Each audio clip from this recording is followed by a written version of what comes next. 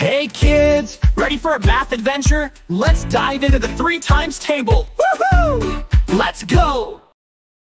Three times one is three. Woohoo! Three times two is six. Woohoo! Three times three is nine. Woohoo! Three times four is twelve. Woohoo! Three times five is fifteen. Woohoo! Three times six is eighteen. Woohoo! Three times seven is twenty-one. Woohoo! Three times eight is twenty-four. Woohoo! Three times nine is twenty-seven. Woohoo! Three times ten is thirty. Three